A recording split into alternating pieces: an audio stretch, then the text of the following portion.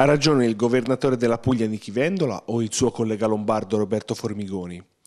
A sentire chi se ne intende e ne scrive, in Lombardia la mafia c'è e come? Non solo in Lombardia, ma ovunque. E difficilmente si riesce a contrastarla.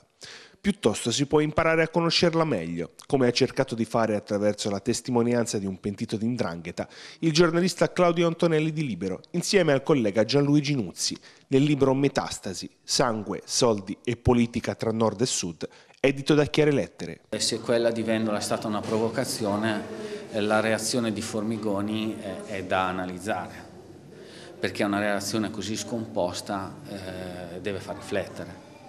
Eh, la, la, politica lombarda, la politica del nord eh, sta, sta, reagendo con la propria coscienza, credo, perché anche se continua a negare la presenza di, di, di indrine, di, di locali che operano costantemente eh, e che hanno un numero di affiliati molto elevato, secondo me sta cominciando un lento percorso di reazione. A Polignano, dove Antonelli ha presentato il suo lavoro nel corso della rassegna Il senso dei libri, c'era anche Aldo Pecora, presidente e anima di Ammazzateci Tutti, l'associazione di giovani calabresi nata sei anni fa in seguito all'assassinio del vicepresidente della regione Francesco Fortugno. Sulla mafia a Milano, lui le idee le ha ancora più chiare.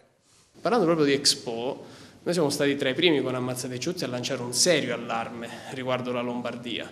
Tant'è, tant'è che il presidente Formigoni facesse un po' di mente locale, si ricorderebbe pure di aver istituito un comitato per la legalità, si chiama, comitato di garanzia all'interno della sua giunta regionale, la precedente giunta regionale. Quindi mi sembra strano, insomma, è un po' paradossale che proprio oggi Formigoni si indigni con Vendola quando Vendola scopre l'acqua calda.